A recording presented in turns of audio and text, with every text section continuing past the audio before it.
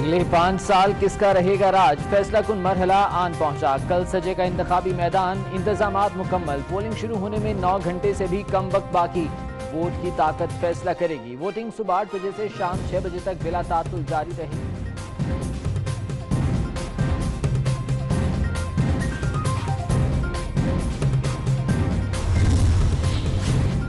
کس طرح ڈالیں۔ الیکشن کمیشن نے ووٹرز کے لیے ضروری ہدایات جاری کر دی ووٹ ڈالنے کے لیے اصل شناختی کارڈ لازمی ہمراہ لانا ہوگا۔ ووٹر کو ایک سبز اور ایک سفید بیلٹ پیپر دیا جائے گا، جنہیں اسی رنگ کے بیلٹ باکس میں ڈالنا ہوگا۔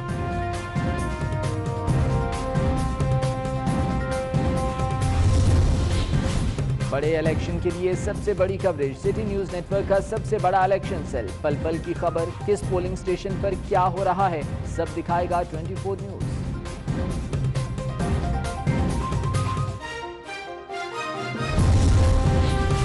پرو پاکستان ووٹ دو 24 نیوز کی مہم میں کھلاڑی بھی شامل۔ پہلوان انعام بٹ نے کہا کہ اچھے مستقبل کے لیے ووٹ دو، پاکستان کے لیے ووٹ دو۔ کپتان سرفراز احمد کی پوری قوم سے ووٹ ڈالنے کی اپیل۔